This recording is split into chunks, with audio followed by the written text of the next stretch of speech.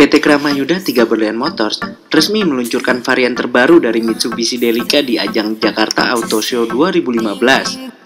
Varian ini diluncurkan sebagai pilihan varian Mitsubishi Delica dengan fitur-fitur yang lebih lengkap dan elegan.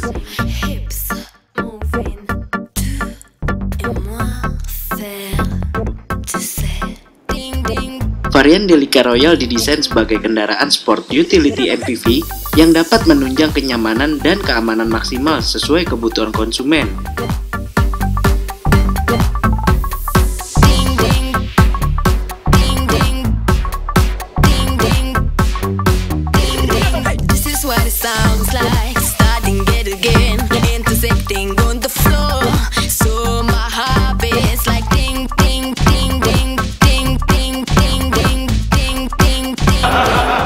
My name is Kosei Tamaki.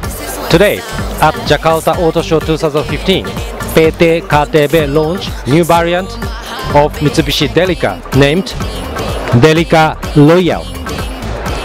This new variant came to answer consumers' needs of the car with maximum utility, safety, high performance, and also with more elegant exterior and interior. Dengan kehadiran varian Delica Royal, diharapkan mampu memperkuat posisi Mitsubishi Delica di kelas high MPV